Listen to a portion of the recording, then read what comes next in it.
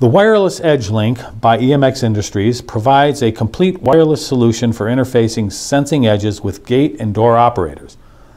Compliant with 2016 UL 325 standards, the WEL-200 is compatible with normally closed, 10K, and pulse monitoring.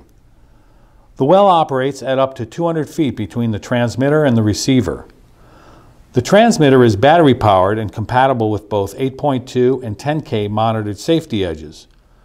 The receiver connects up to four transmitters with separate relay and pulse outputs for open and close edge functionality. Programming the wireless edge link is simple. A connect switch and LED is provided for each of the four channels. A dip switch is used to select the open or close relay for each channel. The status LED indicates system status. We install the batteries into the transmitter and the transmitter LED will begin flashing. On the receiver, we press and hold the selected channel push button until the status LED begins flashing rapidly. The channel LED will begin flashing and the receiver is now ready to connect. We press and hold the push button on the transmitter. The LED will flash rapidly for a moment while the transmitter connects to the receiver. After the connection is established and, and an edge is connected to the transmitter, the channel LED will turn off.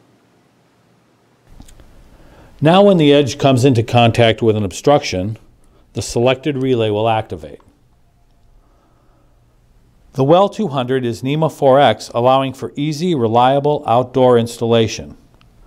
Featuring an integrated antenna, the receiver offers flexible mounting options outside of the operator to minimize potential metal and RF interference while maximizing operating distance. The EMX wireless edge link eliminates the wiring between the safety edge and the operator control box, greatly reducing labor and material costs. Contact us for more information about our new wireless edge link.